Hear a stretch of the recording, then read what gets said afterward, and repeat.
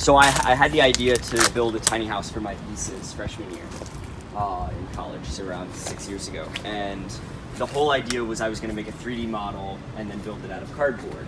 And as my skills got better and as I started making furniture and doing things like that, I realized I could probably build the whole thing.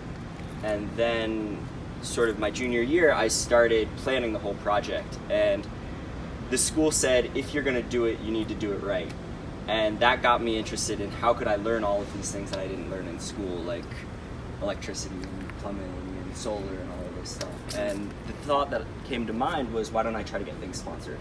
Uh, I'm not sure about OSU, but CCAD does a lot of sponsored classes uh, where companies can come in and hire students to do work for them, and in turn, students get a great portfolio piece and they learn from the experts. And so, with that, I had the idea well, why don't I make my thesis a sponsorable project?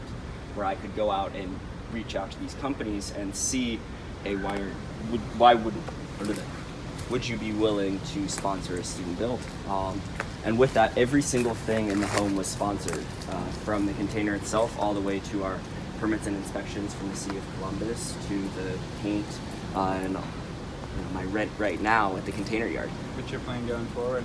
Uh, so right now I do uh, modular design with containers. Um, I'm hoping to switch more into just micro design, whether that's in small apartments, uh, sort of anything like that, to make little spaces more efficiently. Um, over here is the 22 people that helped with the project, uh, and then the 70-ish people who had a hand in building it, from everyone who helped paint to carrying plywood uh, to the local coffee shop owner who brought over coffee a couple mornings to keep us going and things like that. Why is Tom's name upside down? So he's the uh, dean of the design school, and as the dean of the design school, he likes things neat and orderly. Uh, and when we were putting on the vinyl on this three-dimensional surface, it's hard to get in a straight line, and he came over with a 10-foot level and said that his name was the only name not in line we quickly pulled that off, flipped it upside down, and kept it perfectly in line, uh, just as a little harmless uh, prank towards them. uh, some design humor.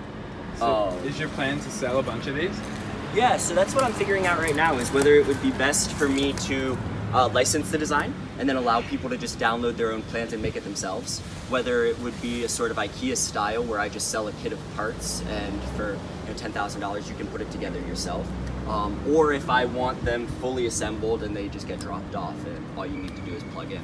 Uh, this is designed to be like that latter option where all you would have to do is plug in. And so with that, we have two different electric imports. This is a 50 amp 220, and then this is a 30 amp three prong. This is the outlet that most houses have on the outside.